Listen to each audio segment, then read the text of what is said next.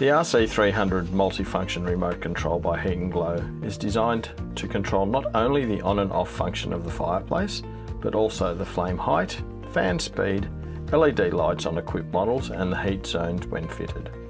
It also has an inbuilt thermostat located inside the handset and a countdown timer which enables the automatic switching off of your Heat and Glo fireplace.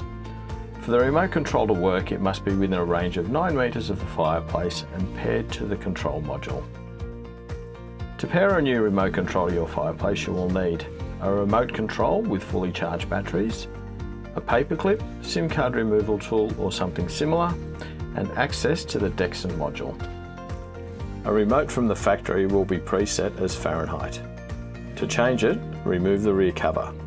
Locate the two-way switch and switch over to Celsius. Step 1. Ensure the Dexon module three-way switch is switched to the remote position and has power. To do this, switch the module to the off position and back to the remote position. The module will beep once to signal power has been restored. Step 2. Locate the learn button Depress and release once with a paper clip. The module will beep and flash green for 10 seconds which signifies the module is hunting for a remote frequency to lock to. Step 3. While the LED is blinking, press the power button on the remote handset. The module will then double beep confirming the pairing has been successful.